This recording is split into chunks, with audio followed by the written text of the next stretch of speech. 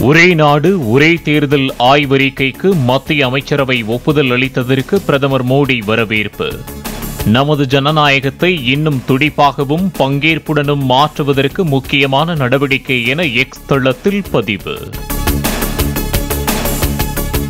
பிரதமர் மோடி அற்புதமான தலைவர் என்றும் அவரை அடுத்த வாரம் அமெரிக்காவில் சந்திக்கப் போவதாகவும் டொனால்ட் ட்ரம்ப் அறிவிப்பு.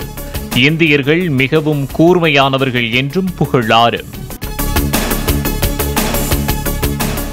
குரூப் போர் தேர்விற்கான பணியிடங்களை அதிகரிக்குமாறு அதிமுக பொதுச் செயலாளர் எடப்பாடி கே பழனிசாமி வலியுறுத்தல்.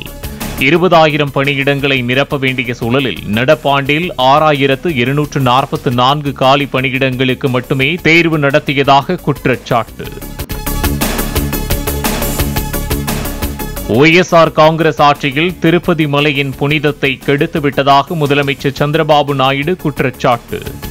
திருப்பதி கோயில் லட்டு பிரசாதம் தயாரிக்க விலங்குகளின் கொழுப்பு கலக்கப்பட்ட நெய்யை ஜெகன்மோகன் அரசு பயன்படுத்தியதாக பேச்சு.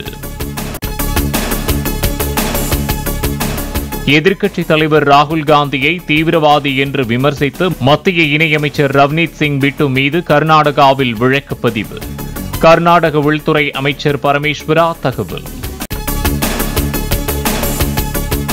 வைகை அணையிலிருந்து பாசன கால்வாய் பகுதிகளுக்கு கூடுதல் தண்ணீர் திறப்பு. கூடுதல் நீர் வெளியேற்றத்தை அடுத்து கரையோரம் வசிப்பவர்களுக்கு பொதுப்பணித்துறை எச்சரிக்கை. வேலூர் பழைய அரசு மருத்துவமனையில் நூற்று ஐம்பது கோடி ரூபாய் மதிப்பீட்டில் கட்டப்பட்டு வரும் புதிய மருத்துவமனை கட்டுமான பணிகளை ஆய்வு செய்த அமைச்சர் ஏவா வேலூர். கட்டுமான பணிக்கு பயன்படுத்தப்படும் கம்பியின் பெயர் என்ன? எந்த கம்பெனியில் வாங்கப்படுகிறது என அதிகாரிகளிடம் கேள்வி எழுப்பிய அமைச்சர். ஸ்ரீலம்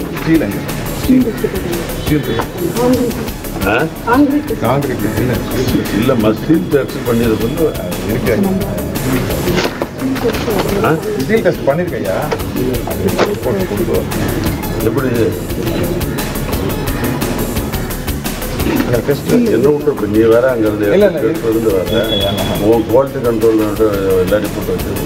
இல்லை இருக்கு எங்க வாங்குறாங்க என்ன ஸ்டீல் போட்டாங்க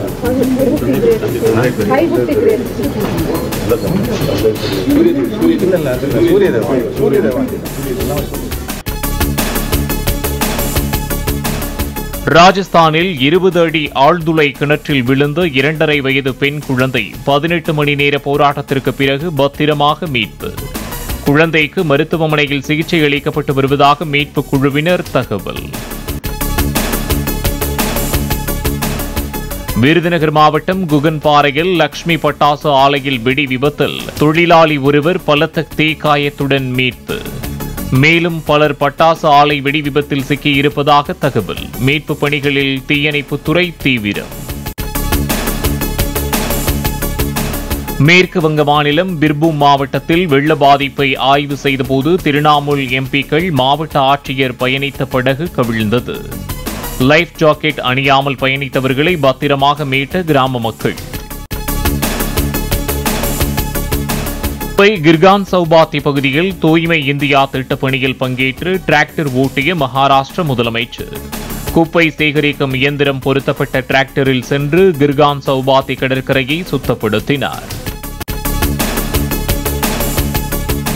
டெல்லி முதலமைச்சராக நாளை மறுநாள் பதவியேற்கிறார் அதிஷி மர்லினா.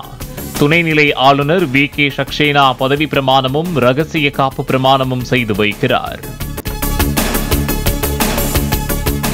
டெல்லி சாந்திவன் பகுதியில் ஏற்பட்ட கார் விபத்தில் பல்கலைக்கழக மாணவர்கள் உட்பட ஐந்து பேர் படுகாயங்களுடன் மருத்துவமனையில் அனுமதி.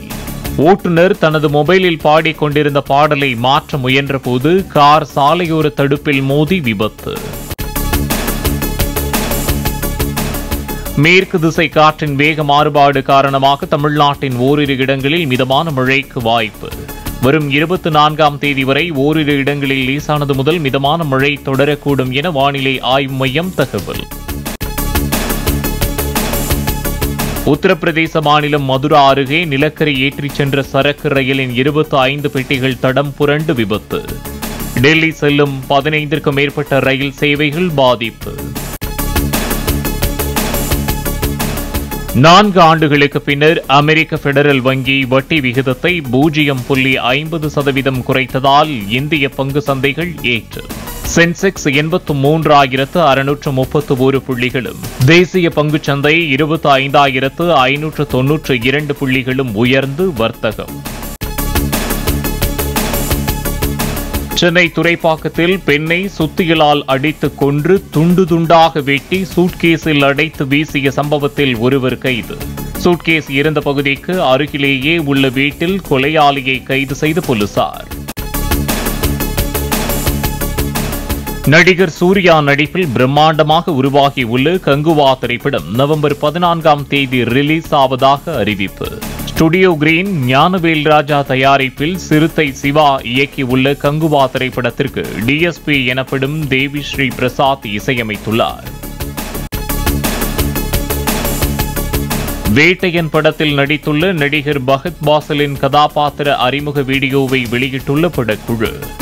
அக்டோபர் பத்தாம் தேதி வெளியாகிறது நடிகர் ரஜினிகாந்தின் நூற்று எழுபதாவது படமான வேட்டையன். நடிகர் விஜயின் தி கோட் திரைப்படம் பதிமூன்று நாட்களில் நானூற்று பதிமூன்று கோடி ரூபாய் வசூல். பாக்ஸ் ஆபீஸில் வெறித்தனமாக வசூலை குவிப்பதாக பட தயாரிப்பு நிறுவனம் தகவல். தமிழ்நாட்டில் தென்மேற்கு பருவமழை இருபது சதவீதம் கூடுதலாக பெய்துள்ளதாக வானிலை ஆய்வு மையம் தகவல். ஜூன் மாதத்திலிருந்து தற்போது வரை உள்ள காலகட்டத்தில் பெய்யும் மழையளவு இருநூற்று எண்பத்து ஒரு மில்லி மீட்டராக உள்ள நிலையில் முன்னூற்று அறுபது மில்லி மீட்டர் மழை பதிவு.